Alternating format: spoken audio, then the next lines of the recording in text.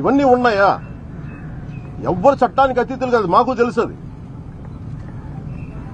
నిర్ణయాలు తీసుకొని ఒకరికి ఇచ్చిన తర్వాత దాంట్లో తప్పప్పులకు సంబంధిత అధికారులు చేయాలి దానికి.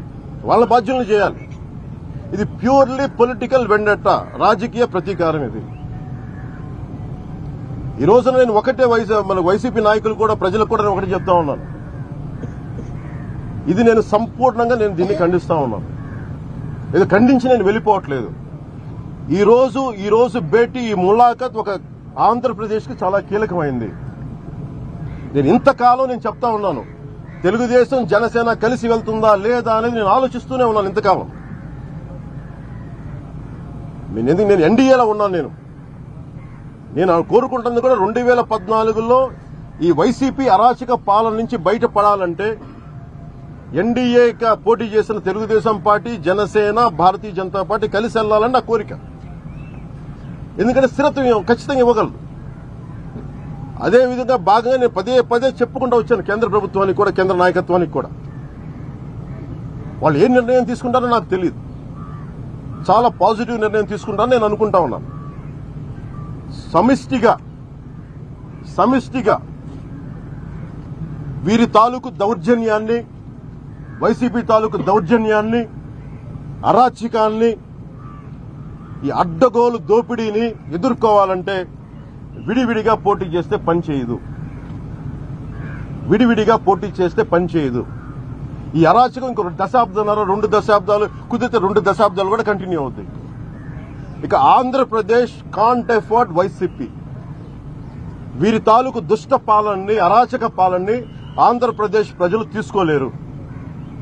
నాలాంటి వాడిని రోడ్డు మీదకి రావాలంటే నువ్వు పోలీసులు రెండు వేల మంది పోలీసులను పెట్టి తెలంగాణ బోర్డర్లో ఆపే ధైర్యం దమ్ము నీకు ఉన్నాయంటే సగటు మనిషిని బతకనించ బతకనిస్తాడా వీడు?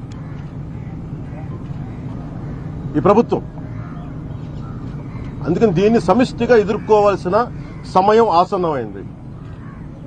ఈ రోజున జనసేన కార్యవర్గానికి పార్టీ సభ్యులందరికీ కూడా మీరందరి పరిస్థితులు చూడండి. నన్ను కూడా రానివ్వట్ల. నేను మొన్నటి దాకా ఏ నిర్ణయం తీసుకోలా. ఉంటే బాగుంటుందని చెప్తున్నా. ఈ రోజు నేను నిర్ణయం తీసుకున్నాను. ఈ రోజు నేను నిర్ణయం తీసుకున్నాను. తెలుగు జనసేన తెలుగుదేశం కలిసి వెళ్తాయి వచ్చే ఎన్నికల్లో. ఇది మా ఇద్దరి భవిష్యత్తుకు సంబంధించింది కాదు. మా ఇద్దరి భవిష్యత్తుకు సంబంధించి ఆంధ్రప్రదేశ్ భవిష్యత్తుకు సంబంధించింది. ఈ రోజు ఇంత అనుభవం ఉన్న వ్యక్తి బిల్ క్లింటన్ తీసుకొచ్చే బిల్ క్లింటన్ లాంటి వ్యక్తితో బిల్ గేట్స్ లాంటి వ్యక్తులతో ఇలాంటి అందరితో కలిసి ఒక సైబరాబాద్ ఒక సిటీకి రూపకల్పన చేసిన వ్యక్తి ఈ రోజు రాజమండ్రి సెంట్రల్ జైల్లో ఉండాలి. నిజంగా చాలా బాధపడాలి మనం. నూట యాభై ఒక్క సీట్లు దౌర్జన్యాలు చేసేవాడికి ఇచ్చాం కానీ చంద్రబాబు గారు ఆయన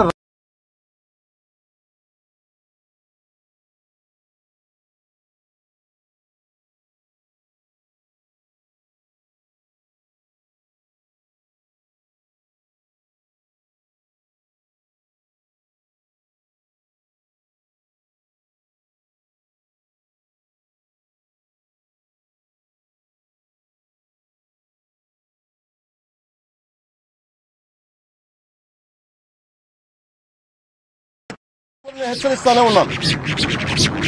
మీరు కనుక మీరు అండదండలు చూసుకొని మీరు మా మా గుంపుల్లో చొరబడి మొన్న నాకు కోనసీమలో చేసినట్టుగా వా వారాహి యాత్రలో గొడవలు చేస్తున్నట్టుగా మన చంద్రబాబు నాయుడు గారి చిత్తూరులో మీరు చేస్తున్నట్టుగా భీమవరంలో మన లోకేష్ గారు వెళ్తే చేస్తున్నట్టు ఇలా చేస్తే మీరు ఒకటే గుర్తుపెట్టుకోండి. నాజీలని హిట్లర్ నాజీ ఆర్మీని యూదులు ఎలాగైతే వెంటపడి వెంటపడి వాళ్ళని న్యాయ చట్టసభలు తీసుకొచ్చారో వైసీపీకి మద్దతు తెలిపే ప్రతి క్రిమినల్ని చిన్న చిత్తగా ప్రతి ఒక్కరిని బయటికి లాక్కొస్తాం గుర్తుపెట్టుకోండి. ఎవరిని అందుకని మీరు రాయి వేసేటప్పుడు ఆలోచించండి మీరు. రాయి వేసేటప్పుడు ఆలోచించండి మీరు. ఏ ఒక్కరిని వదలం.